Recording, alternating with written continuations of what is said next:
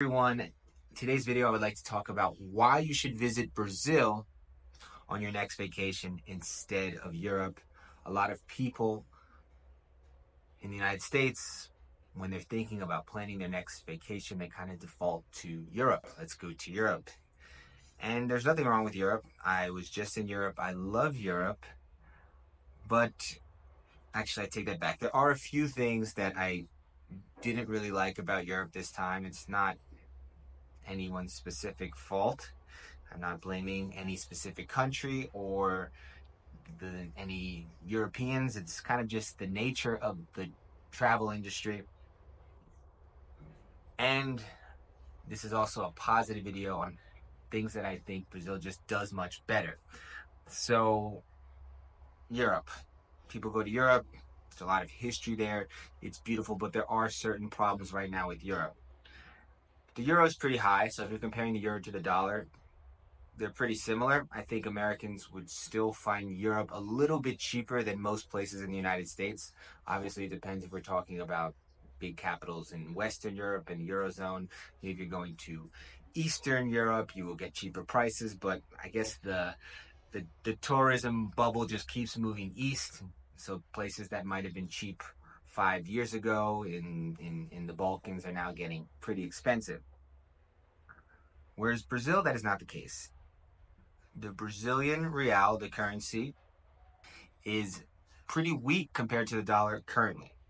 So if you are looking for a good place where you get bang for your buck, Brazil certainly is the place. So let's, if we're thinking about financials, Brazil would certainly be a cheaper flight finding flights might be a little bit more expensive than going to a major city in Europe, but I'm not sure, especially if you leave from New York or Orlando or any big city on the East Coast, maybe Atlanta as well. You could probably find some cheap flights into Sao Paulo and Rio. So you're going to spend less money because of the currency. Things are also cheaper. But of course, if I was just saying go to a cheap place, that's not why I'm saying go to Brazil. There are many reasons why I prefer Brazil to Europe and definitely to other places that I visited. The first thing is the Brazilians. Brazilians are very friendly people. They're very uh, welcoming people. They're open to tourists and foreigners. One of the reasons is they don't get an overwhelming amount of foreign tourists compared to their size maybe if you're in a place like Zona Sul, which is the the the southern zone of Rio de Janeiro, you will find a lot of tourists, a lot of foreigners, but that's pretty much the exception and not the rule. Most places will get a few gringos, as they're called, foreigners, but not too many. Brazil is a huge country and it has a and it has a huge domestic market, so you'll find a lot of people traveling from other parts of Brazil on vacation. So, what I mean by this is you will get to interact with Brazilians, you will get to experience the local culture. That's more difficult to do in Europe. In many places, um, the people that are working at the restaurant are not from the country you're visiting. It's economics. I understand that's fair. I'm not complaining about that. But if you go to a place, you kind of want to interact with the people from that place. I love going to Brazil when I was just learning Portuguese, and I would speak to to the to the Uber driver, or I would speak to uh, someone who worked at a restaurant, and I could practice my Portuguese. They could give me local tips. They would they would enjoy the fact that I was trying to talk to them in the local language. Of course, local lang- speaking the local language always helps. I was in Greece and I learned maybe 25 phrases in, in Greek, and it certainly helped the the interactions but they just get a lot of tourists, and they get a lot of tourists in the high months, and it, you're not that special. There's a rule that my friend uh, Seth Kugel, I guess he made up this rule. It's kind of, when you think about it, it makes sense. The treatment you get from the locals is inversely related to how many tourists that place gets. So if a place gets a lot of tourists, if you're in Times Square, don't expect the locals to really roll out the red carpet. If you're on the Champs Elysees in, in Paris, same thing. If you're in the in front of the Fontana Trevi in Rome, same thing. So there's definitely an over tourism problem in Europe. Barcelona is even is even having protests. Go home tourists. They don't want any more tourists. And good luck trying to speak Catalan anywhere in Barcelona. You, you just don't find people. I'm sure. I mean, there's they speak Catalan at home, but you don't find people at the restaurants speaking Catalan. So if you wanted to practice Catalan in Barcelona, it's really hard to find someone to practice with. If you want to speak Portuguese in Brazil, it's so easy. It's it's it's it's you have to do it almost. So it's it's it's fun. It's you really get to experience the local culture. People are much friendlier than I've experienced in other cultures and it's not just at a service level. I know in in in Asia people tend to be friendly, but there also seems to be a distance. Where in Brazil, you could literally spend a week in Brazil and make legitimate Brazilian friends that you will keep for the rest of your life. This is kind of uh, a thing that I think only Brazil does. I don't. I'm not so sure that other countries. Of course, it can happen, but there's a a lot of bureaucracy in making friends in other countries that doesn't exist here in Brazil. I think it would be pretty difficult to make a European friend in a short period of time unless you are already introduced into that circle of friends. Where in Brazil, people are much, much more open to making new friends. I found that in Brazil. United States, I'm sure would also be pretty difficult to come for a week and make some new friends. Maybe if you were in a place like New York where people are, you know, there's a lot of transplants, people from another place that you might be able to do that in a place like New York. But Brazil, it's completely easy. It's not uncommon to be invited to a barbecue later on that week, someone's country house. These things happen all the time. So I think that's a really fun thing to do. And it's really one of the things that I like about Brazil. You get an authentic experience and you get uh, experience where you can really meet people from the place. So we've talked about how the price is better. You will be welcomed by the locals and you have authentic experiences which is what i like i like to travel to get authentic experiences i don't like to travel just to take pictures in front of monuments. Some people do and that's fine. That's you know that everyone has their their particular reasons for travel and i like to travel to experience local cultures in an authentic way. And it's much easier to do that in brazil than in another country. Let's talk about the food. Usually when you think about good cuisine, you think about Paris and Rome and, and, and Italy. And, and while the food is really good there, because of the number of tourists, you really have to watch out for tourist traps. There's so many different tourist traps. And, and the service, I have to say, is very transactional. You really have to jump through hoops to get a table.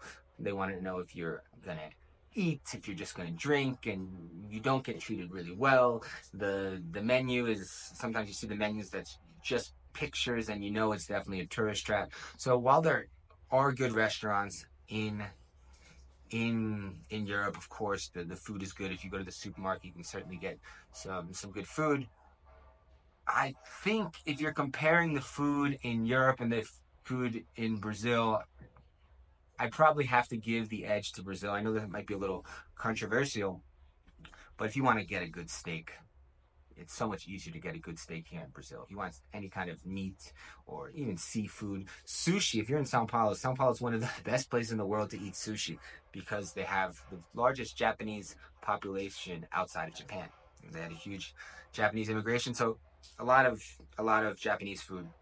They have a lot of Michelin star restaurants a lot of uh, creativity going on where they're mixing traditional aspects of Brazilian cuisine with kind of fusion and new age uh, cooking techniques. I'm not a chef, so I don't even particularly love going to restaurants. But my wife, she she loves to eat out, and so she always has a list of places. And they, when you when you when you do the bill at the end of the day, maybe you just go out for two people, spend like sixty dollars, and you and you drink and you eat well. Where in Europe, if you're drinking well and eating well, that would be double. In the United States, that might be triple. So, and, and that's like not even looking at the prices.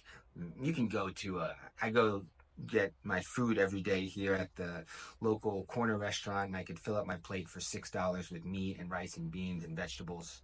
So that's like more of a, you know, local place, not no frills place, which are places that I like to go. So there's, there's, there's there's places for every, budget. If you want to go high budget because of the the exchange rate, you can stay at you know the Rosewood, which is the nicest place in Sao Paulo. In Sao Paulo, I mean that's I'm not sure actually, but it's one of the nicest places in Sao Paulo.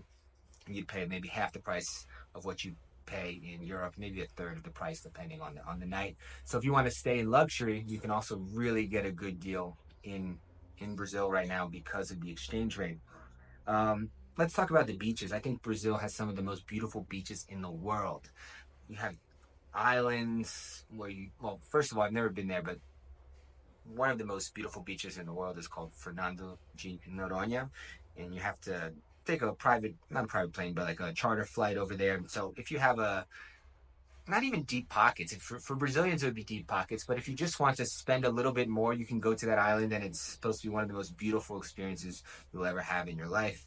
So definitely check that out. But I always go to Ilha Bela, it means beautiful island. It's an island.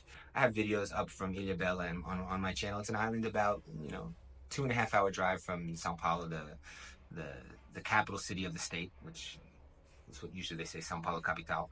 And then Sao Paulo is also a state. Think of New York, where New York is a, is a state and also a city. Different from New York, though.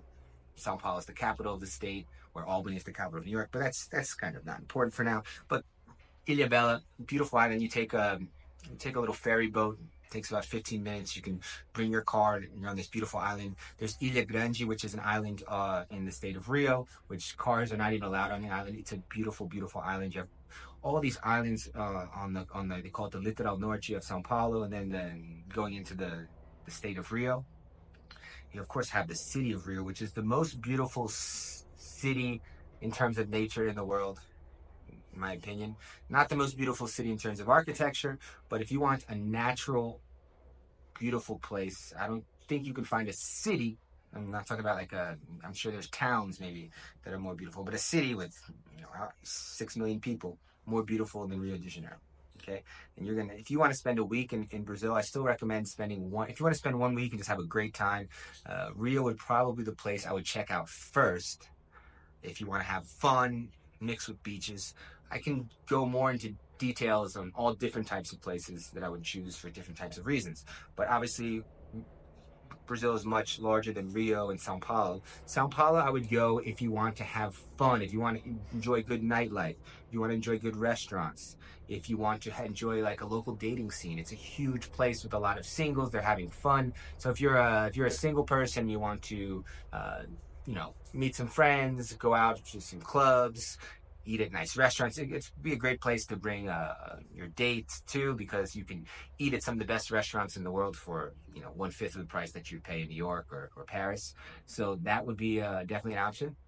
Um, let's talk about some of the beaches in the Northeast. So the Northeast of Brazil has some of the most beautiful beaches in the world. Places like Jericoacoara, uh, Porto de Galinhas in in the state of, uh, of Pernambuco. You have, uh, I believe it's called Maragogi in the state of Alagoas. There's tons of beaches. I can do a list of the most beautiful beaches in another video, but I can just say from my experience, compared to Europe, which definitely has some beautiful beaches. I was in Mykonos and in Santorini the last trip. But a lot of those beaches are rock beaches, so you get in there and you're you're you're stepping on rocks and the the local infra- service infrastructure isn't as good. Maybe they'll have like a nice beach club, but you'll have to pay like 20 euros a drink. Where here they usually have a if you go you can go to a deserted beach where you where you kind of walk through this natural trail and you end and like you're, you're fighting through basic Amazon, not Amazon, Atlantic rainforest. The Amazon is another place I recommend, but we'll talk about that in a second. You're fighting through local uh, native uh, Atlantic rainforest, and you get to a clearing, you see the beach, and it's crowded, so it has some life, but not crowded where it's annoying. And there's there'll be a, a local kiosk or there'll be a local shack where someone will be making food. They'll be serving local drinks like caipirinhas, and you might be paying like five dollars for a caipirinha this size, four dollars in some some some cases.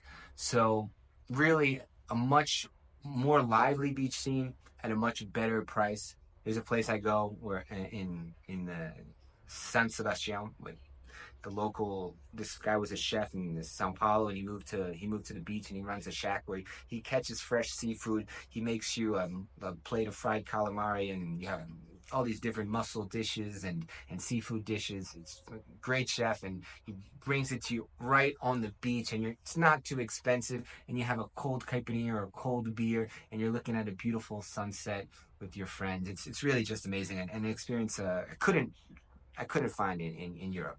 Not that they don't have nice beaches, but I would definitely give the beach advantage in terms of natural, not only in terms of natural beauty, but in terms of fun to Brazil. And, and and natural beauty, sometimes it can get it can get close, but fun, I would give uh, the victory to Brazil by a wide a wide margin. Okay, so um, and it's not just beaches. There are beautiful colonial towns. I know uh, Europe will. If you want to talk about just architecture and, and, and history, I would have to give the edge to Europe. Of course, that's one of the reasons I enjoy going to Europe. But there are some beautiful colonial towns in Brazil one example would be Ouro Preto, which has some of the most beautiful hillside churches in the state of Minas Gerais. It's really just, it's just amazing. Paraty, which is a, a colonial beach town. And this was basically because they had a, a gold rush at one time in Brazil, and um, and they built some beautiful, beautiful churches, beautiful, beautiful buildings. And Paraty was one of those cities where the the the kind of royal road ended, and the gold went back to Portugal and back to Europe, and eventually back to uh, the United Kingdom. But that's a story for another day. And uh, actually, if you ever seen one of the Twilights, they they went to Paraty. They went they went to Rio, the the the, the main city Rio. Uh, they were in Lapa, which is one of a, a lively neighborhood in Rio. Then they went to Paraty. So um, another. Uh, Olinda, which is a city in Pernambuco, and Recife had some beautiful um, colonial colonial arch- architecture. R- really, really beautiful, and, and people don't usually think about that. I would say nature is probably one of the most um, most important things or one of the biggest advantages you get going to Brazil. Amazon, it's huge. I've been there. It's, it's, it's amazing. I, need to make a video about that. We have the Pantanal, which is a wetlands, which you can see you can see jaguars and all these different types of birds and amphibians and reptiles. Depending on the season, it's, it's one of the most beautiful places. Jalapão, which is another natural place where you definitely want to check out. Um, and hiking, they have different uh, chapadas, which are kind of like mesas where they're, um, you know, highlands. You have Chapada Diamantinas, Chapada, Chapada Veadeiros, if I'm not mistaken. And, and these are just places you can go for hikes and camping, and, and it's really just amazing. But I mean, to wrap it all up, I think the main reason you want to go to Brazil is the Brazilian people.